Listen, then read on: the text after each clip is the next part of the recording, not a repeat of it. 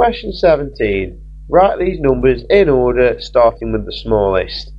Now, the first thing you can see straight away is that three of the numbers begin with an 8 point something, so 8 point, 8 point, 8 point, and two of them begin with 1 point something, so the 1 point something numbers must be smaller than the 8 point something numbers.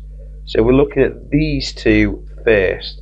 Now the next thing to notice is that this one's only got one digit after the decimal point, whereas this one's got two digits after the decimal point. So let's even it up and make this one have two digits after the decimal point by putting in a zero. Because remember, 1.8 is the same as 1.80. Now if you think about money, £1.28 would be smaller than £1.80, so 1.28 is smaller than 1.80. So 1.28 is the smallest one. So that's that one gone. Cross it off once you're done with it. Then obviously the only other number beginning with a 1 is 1.80 or 1.8, so we can just pop that in. We might as well just put the original number in, 1.8. Now we're down to the the numbers that begin with 8 point something. Now we've got a real mixed bag here. This one's only got one digit after the point. This one's got two digits after the point. This one's got three digits after the point. Let's make them all have three digits after the point and then it'll be a lot easier to compare.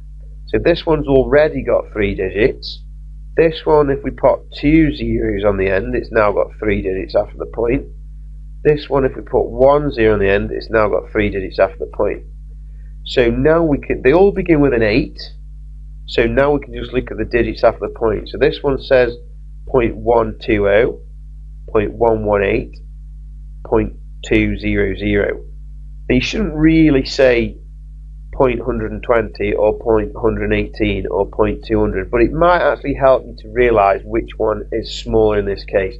So 118 is smaller than 120 and 200, so this one must be the next smallest one.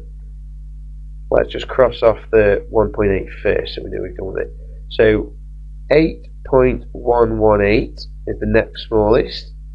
Then we've got 8.120 because 120 is smaller than 200.